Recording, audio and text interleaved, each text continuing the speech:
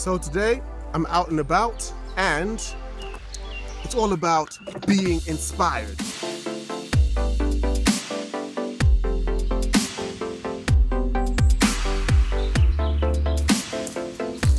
So one of the things that I find is super inspiring is to go for a photo walk. Go somewhere you've never been before, whether that's in an urban scenario or like me in the woodlands.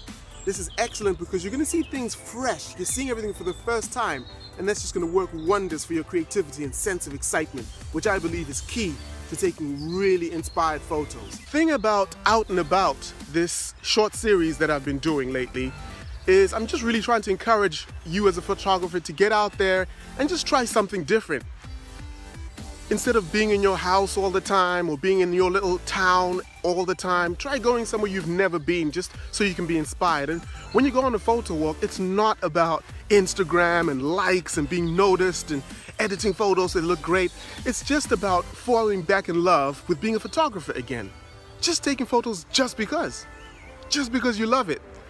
And when you do that, you do get better. You're exercising muscles and creativity that you don't typically do when you're under pressure to get likes and that sort of thing.